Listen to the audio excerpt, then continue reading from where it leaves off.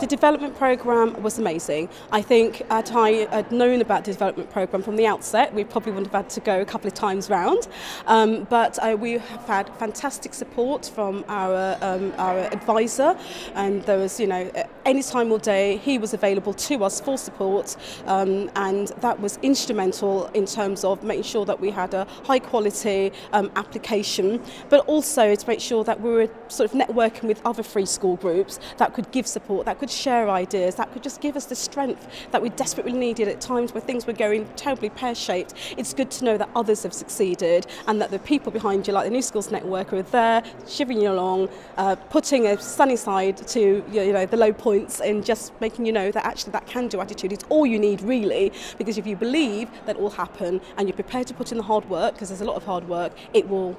it will happen.